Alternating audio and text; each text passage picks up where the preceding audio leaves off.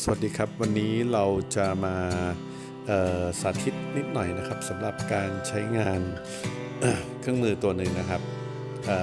ตัวนี้คือ b i c i t y KM1 หรือ Curve Maker นะครับ Curve Maker เนี่ยก็ย่อมาจาก Curve เนี่ยก็คือ ตัวที่เราเรียกว่าของเลื่อยนั่นเองนะครับ วันนี้เราจะมาเอาไม้ชิ้นนี้นะครับ เข้าไปเราจะสร้างตัว ตัวร่องนะครับ ซึ่งจะไม้ชิ้นเล็กที่เห็นนี่นะครับ ไปใส่อยู่บนไม้อีกชิ้นหนึ่งนะครับ โอเคในขั้นแรกนะครับ เราก็จะนำไม้ตัวที่เราจะนำไปใส่บนร่องนะครับร่องแดโดนี่นะครับ เราก็จะเซตซีโร่ก่อน เซตสูงก่อนนะครับ จากนั้นให้เราลองเอาใบเลื่อยนะครับมาตัดให้มันเกิดความหนาของของเลื่อยนะครับ แล้วเราก็เซตตัวนี้ลงไปเพื่อที่จะอย่างว่าของเลื่อยของเราเนี่ยที่เราจะมาใช้เนี่ยมันมีความหนาเท่าไหร่นะครับ ซึ่งเราไม่จำเป็นที่จะต้องเออเอาตัวนี้เข้าไปทาบกับของเลื่อยนะครับ เป็นการ Copy ของเลื่อยออกมา อยู่บนชิ้นไม้ชิ้นหนึ่งนะครับ แล้วเราก็เอามันมาหยางได้เลยนะครับ โอเค ตอนนี้เราได้ความหนาของเลื่อยแล้วนะครับ นี่คือความหนาของเลื่อยของเรานะครับ ใบเลื่อยใบนี้ ขั้นตอนต่อไปนะครับเเราก็จะมาปรับตัวปรับที่มีให้นะครับ เราก็จะเอาความหนาของไม้ที่เราจะไปใช้เอามาทาบเข้าไปนะครับ ตอนทาบเนี่ยต้องทาบให้มันอยู่ที่เรานะครับ ถ้าเราต้องการให้ร่องพอดีฟิตเลยแล้วก็ทาบให้แน่นเลยนะครับ จากนั้นเมื่อเราได้ความหนาของไม้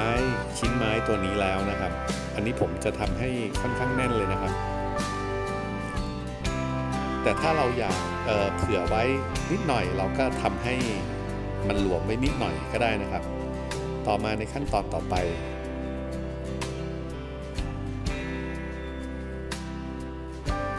นไหมครับ ตอนนี้เราก็จะมากำหนดร่องในด้านที่1นนะครับ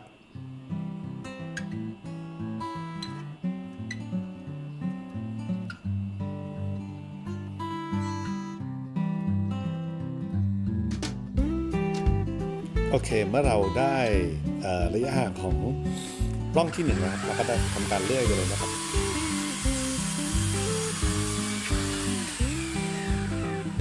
เห็นว่าเราได้เส้นทางด้านขวามือแล้วนะครับ ต่อไปก็คือเราก็กลับอีกด้านนึงนะครับ เพื่อที่จะกำหนดของความกว้างของร่อง ที่เราจะเอาไม้อีกชิ้นหนึ่งเนี่ยนะครับไปเสียบนะครับ เราก็พลิกตัวจิกเนี่ยมาแล้วก็มันก็จะได้ระยะความกว้างมันซึ่งมันจะถูกทดของเลื่อยเรียบร้อยแล้วนะครับ ตอนนี้เราได้ซ้ายและขวาเรียบร้อย ต่อไปเราก็จะมากัดล่องทั้งหมดนะครับ การกัดเนี่ยแล้วแต่ความถนัดนะครับ บางท่านก็อาจจะใช้สิวอะไรก็ได้ แต่นี้ที่ผมทำให้ดูก็คือจะเร็ว เพราะผมจะใช้สิวไม่เก่งหรือถ้าจะใช้ไม่เป็นเลยก็ว่าได้นะครับ เราก็เลยใช้เลื่อยองศากับเป็นล่องเลย นะครับโอเคเดี๋ยวเราจะมาดูนะครับ ตอนนี้เราได้ล่อง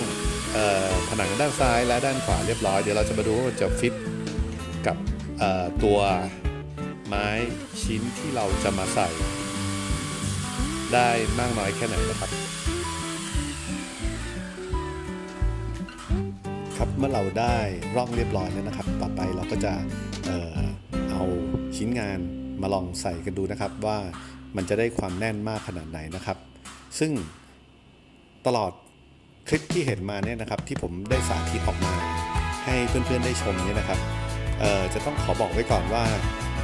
เป็นการทำงานด้วยประสบการณ์ที่น้อยมากของผมนะครับ ซึ่งผมเองก็ไม่ได้ใช่ช่างมืออาชีพที่มีความเก่งในการทำงานไม้มาไม่ได้มีประสบการณ์มากมายนะครับ ผมยังสามารถทำล่อง ให้มันฟิตพอดีได้เพียงแค่เรามีเครื่องมือที่ถูกต้อง ใช้เครื่องมือให้ถูกต้อง เปิดใจยอมรับสิ่งใหม่ ๆ ที่เกิดขึ้นใหม่ ๆ นะครับ มันก็ทำให้เราทำงานที่ยากทำให้ง่ายได้นะครับ เพราะฉะนั้นผมเชื่อว่าเพื่อนๆทุกคนทำได้นะครับ ผมทำได้คุณก็ทำได้ครับ ขอบคุณมากนะครับที่